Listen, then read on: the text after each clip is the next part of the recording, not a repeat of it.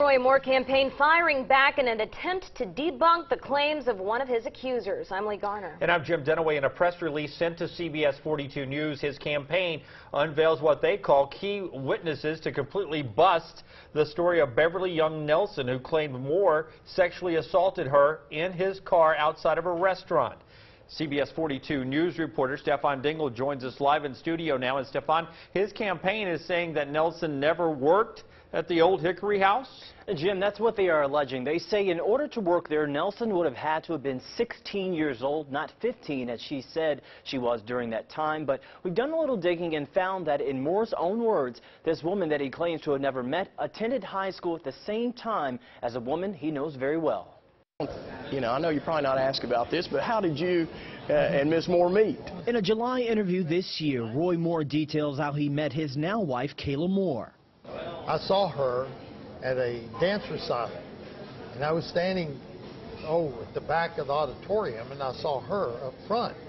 And I remember her name. It was Kayla Kiser. This same Kayla Kiser is pictured in the same yearbook as one of Roy Moore's accusers, then known as Beverly Young. And if you tell anyone about this, no one will ever believe you. Beverly Young Nelson alleges that Moore signed her yearbook in December 1977 before sexually assaulting her in his car.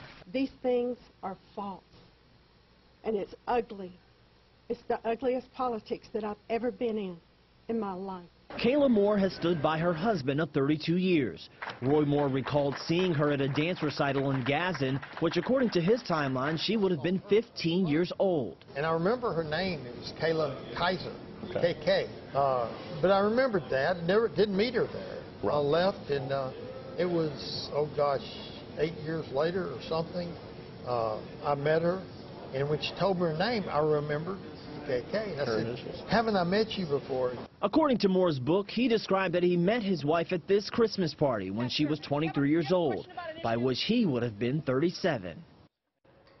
Now, the timeline of events put Moore, Roy Moore at that recital at the same time range that many of his accusers are alleging that he had inappropriate contact with them.